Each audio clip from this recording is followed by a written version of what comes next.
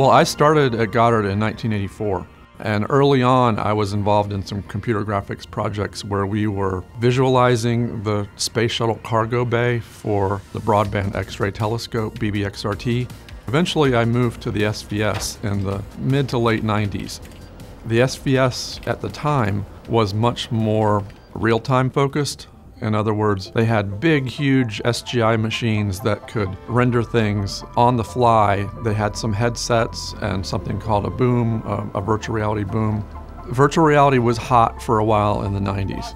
The biggest events in history. The wind changes with this El Nino actually started changing a year ago. El Nino stuff was just wildly successful and was on TV just almost every night.